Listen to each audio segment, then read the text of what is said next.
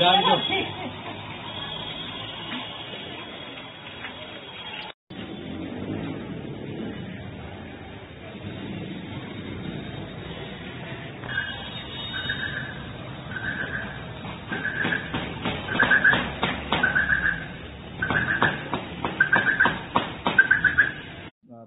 ऐसे पशुपालक जो गाय का दूध दूध करके उनको आवारा छोड़ देते हैं उनका चिन्हांकन किया जा रहा है और उन पशुपालक स्वामियों को नोटिस दिया जाएगा, उन पर जुर्माना भी लगाया जाएगा, जो जानबूझ करके अव्यवस्था शहर में पैदा कर रहे हैं।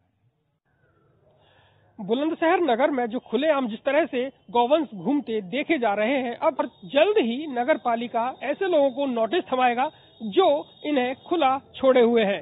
इनके जो मालिक हैं, उनसे अर्थदंड भी वसूला जाएगा। श्रीपाल तेवतिया ईटीवी